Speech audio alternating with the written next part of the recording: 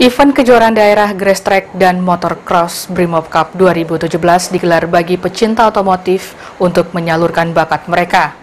Gubernur Papua Barat Domingus Mandacan berharap melalui event tersebut dapat memberikan hasil terbaik untuk menjaring bibit pembalap Papua Barat agar dipersiapkan untuk mengikuti ajang PON 2020 mendatang di Provinsi Papua.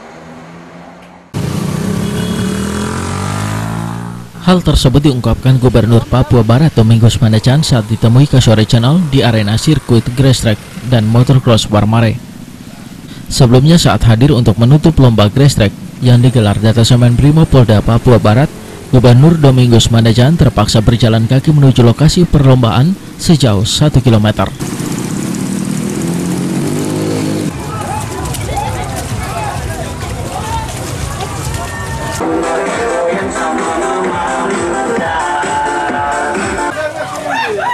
Event kejuaraan daerah bertajuk Race Track dan Motocross Brimob Cup 2017 yang digelar oleh Detasemen Brimob Polda Papua Barat merupakan satu event positif. Sebab pada event tersebut para pecinta motor trail dapat menyalurkan bakat mereka sehingga tidak terlibat dalam balapan liar di jalanan. Gubernur juga berharap dengan adanya event kejurda Grass Track dan Motocross yang digelar oleh Detasemen Brimob Polda Papua Barat maka bisa mendapatkan bibit unggul untuk dipersiapkan mewakili Papua Barat pada ajang PON 2020 mendatang di Provinsi Papua Barat.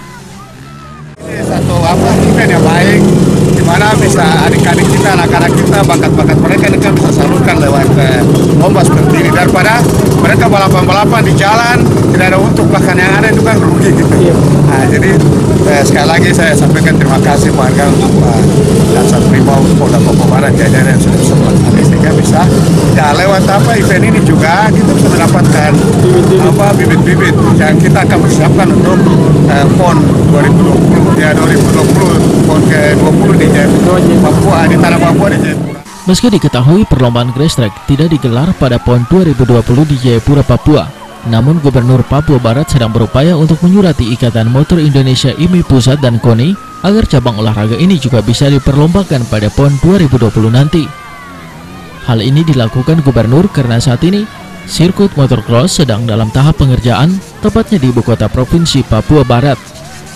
Apabila surat tersebut disetujui, maka Gubernur berharap agar perlombaan motocross pada ajang PON 2020 dapat digelar di Manokwari. Eh, Papua eh, tidak selenggarakan, tetapi kita ada upaya dan kita sudah buat surat untuk kita minta yaitu kepada IMI Pusat, Ketua KONI Umum, atau Ketua Umum KONI Pusat dan juga kita minta kepada Gubernur Papua sehingga bisa diikutkan juga event apa eh, apa cabur ini balap motor ini. Nah, maka itu kita sudah bangun sport center kita bukan sport center apa namanya sirkuit. Kita ada bangun sirkuit di Manokwari dengan harapan bisa dilombakan dan kita jadi tuan rumah gitu. Sementara itu, Kepala Detasemen Satuan Brimo Polda Papua Barat, AKBP Jeremias Rontini mengatakan, Papua Barat mempunyai potensi luar biasa untuk menghadapi ajang PON 2020, sehingga kegiatan olahraga sangat didukung penuh oleh Gubernur Papua Barat. Melalui event kejuaraan Track dan Motocross Primob Cup 2017, diharapkan akan bisa menghasilkan pembalap terbaik karena event ini diikuti oleh pembalap berusia muda yang berasal dari 12 kabupaten dan satu kota. Selain itu, beberapa pembalap dari Provinsi Papua juga turut mengambil bagian. PON 20 itu ternyata Papua Barat punya potensi yang luar biasa. Jadi Pak Gubernur mati-matian untuk kita selenggarakan. Maksudnya cari bibit seperti begitu.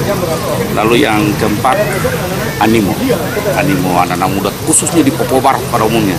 Ini hampir semua datang, tidak ada yang absen. Ya, termasuk dari Timika, Jayapura, Wamena, Biak, semua datang.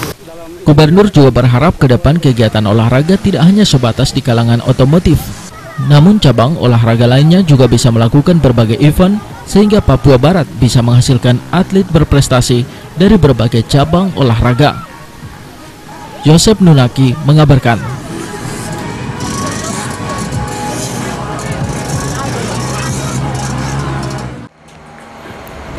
Pemirsa informasi tadi mengakhiri program Kasuari News hari ini. Mewakili rekan-rekan redaksi, saya Widya Pravita mohon pamit.